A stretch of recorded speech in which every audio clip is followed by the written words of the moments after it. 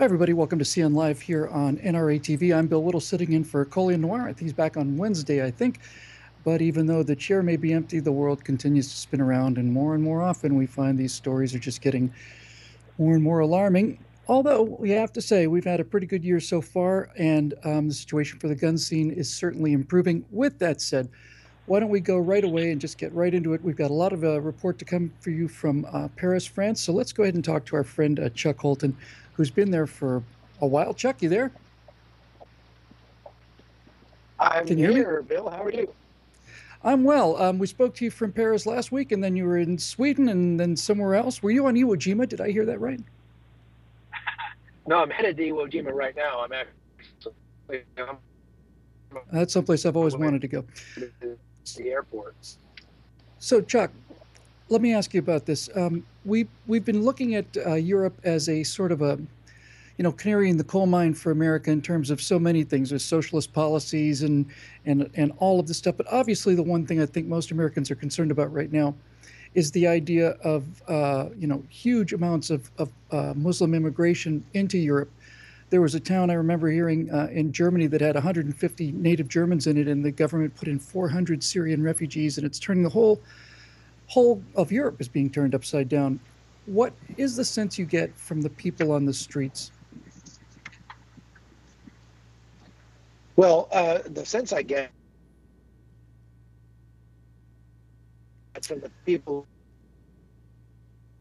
they, have reached a tipping point in in uh, France, especially, uh, which has brought in the largest number of uh, Muslim immigrants uh, than any other country in Europe per capita and uh, the, they're saying that these immigrants have no intention of becoming French, have no intention of ever uh, accepting European culture.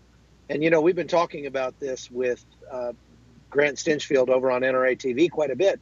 That you know, when you bring people from a completely lawless nation, where their worldview is really almost diametrically opposed to ours or to the Western worldview, even though France is a very secular country, uh, it still is benefiting from the, um, I guess you would say that the do unto others as you'd have them do unto you, Judeo-Christian mm-hmm. worldview that that kind of helped found Europe, and uh, we we see the same thing in our country. But you're you're going from a, uh, you know golden rule kind of society in France, and you're bringing people in in their tens and hundreds of thousands that mm-hmm. come from a, a, a, worldview that's very different. Their their worldview is more do unto others before they do unto you. Uh, yeah, you know, take right. from him before he takes from you, that sort of thing. That's right. Uh, Western culture is pretty much a trust based culture where the relationships are based on trust, and we assume that people are going to do the right thing. And if not, then there's some kind of rule of law to keep them in line. But in um, many Muslim countries, it's more of a dominance based culture. Somebody's my That's boss, right. I'm boss of somebody else, and all this stuff kind of rolls downhill. Don't you find it a little more than a little annoying to hear um, refugees who've been basically given their lives through the generosity of the French government or the German government or whatever? It's it's insulting. I think it's deadly insulting to say, "Oh yes, well we're going to come to to France, but we're not going to become French." Well, you know, they're coming from a worldview that's that's not compatible with French culture, really and uh, you know, so I guess you can't really expect them to. One of the things that we've been talking about quite a bit is just how the the pull factor. I've been reporting on this for uh, almost ten years now on the on the immigration issue, and you know, these people are coming from war torn, terribly poor areas, and so that's a push factor. But we have to talk about the pull factor, and that is mm-hmm. the question: Why aren't they going to Saudi Arabia?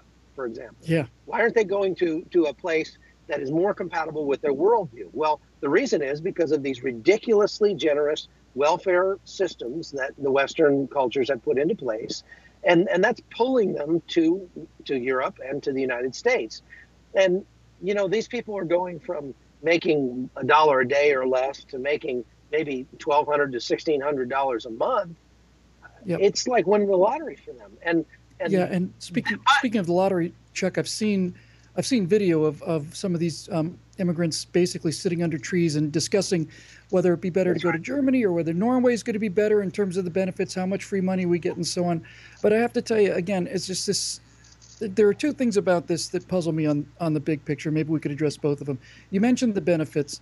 So this idea that there's a sort of ingratitude for all of the aid and the assistance that they're getting really bothers me. But here's something that you could maybe address for me, Chuck. We're told about all of these horrors that these immigrants, um, these migrants, or, are escaping uh, refugees, uh, are going through back home.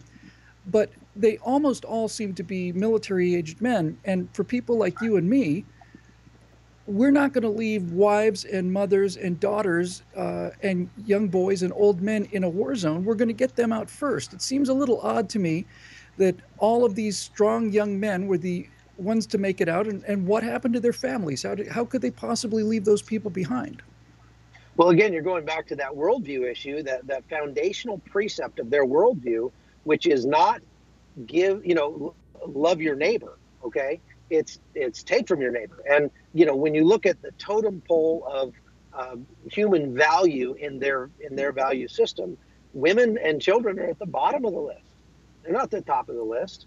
And uh, one of the things that a lot of you'll hear a lot of liberals say is that the journey is so arduous that these people decided to come and establish a foothold, and later on they would bring their women and children over. There, there is undoubtedly some of that. However, I asked these people point blank, people from Syria, people from Somalia, uh, people from uh, Afghanistan, Nepal, you know, some of these very Muslim countries, and ask them, where are your women?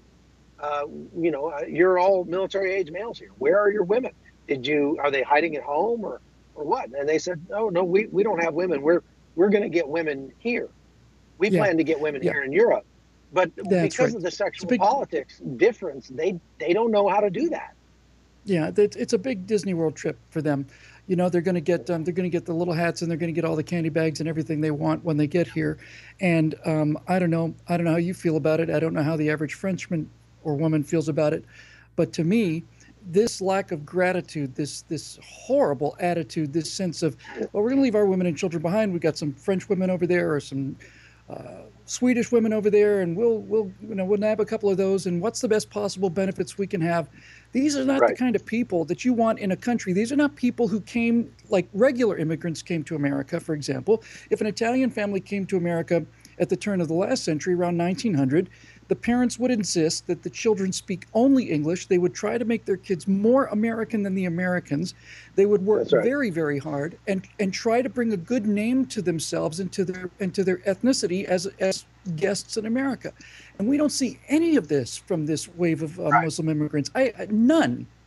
Well, you don't, and Bill, you can't expect an Afghan not to act like an Afghan, not to have no, an no. Afghan worldview. But what I'm saying is, it's it, there's a deeper level here and the fault or you know the, the blame for this lies at the feet of the liberals because what That's happens it. is you look if if you're in trouble and you're in need and i see that and i open my wallet and and help you that is a, an act of charity that creates gratitude on your part because you know that i'm a human being like you are and you you're grateful for the help but when these liberals try to step between you and me and take from me uh, at the point of a gun, essentially, uh, yeah. through taxes, and say you didn't earn that, and then give to you. Now you're receiving help not from an individual, not from another person like you, but you're receiving help from an impersonal organization.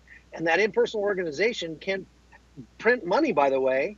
And so mm-hmm. they instead, you know, if they got six hundred dollars, they have every reason to say, "Oh, why wasn't it eight hundred dollars?" Yeah, and that's, that's right. why and you see these guys saying maybe we should go to Norway instead of uh, Germany or whatever because they're just looking for the biggest payout. And and what that creates, and I've seen this all over the world, uh, what that creates is not gratitude.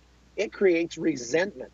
And, and exactly. I don't blame the Afghans for, for, for doing it. I don't I don't blame the Somalis for coming there because hey, if somebody's handing out free cookies, I'm going to get in line.